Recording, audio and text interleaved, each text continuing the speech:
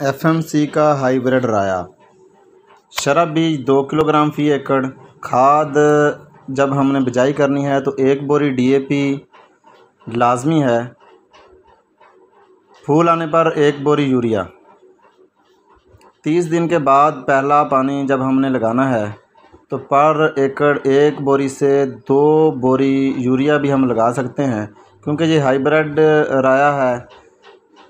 इसने तकरीबन एक फ़ुट से फल लेना स्टार्ट करना है और आठ, सात, आठ फुट तक ये फल लेता ही रहता है।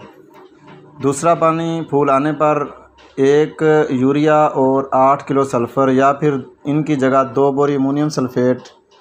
तीसरा पानी हम इसको तब लगाएँगे जब इसकी तकरीबन आधी फलियाँ बन गई होंगी। इसकी पैदावारी सलाहियत जो है वो चालीस से पचास मन फ़ी एकड़ है। ये फ़सल पकने पर, कटाई या इकट्ठा करने पर दाना गिरने के नुकसान से बच जाता है।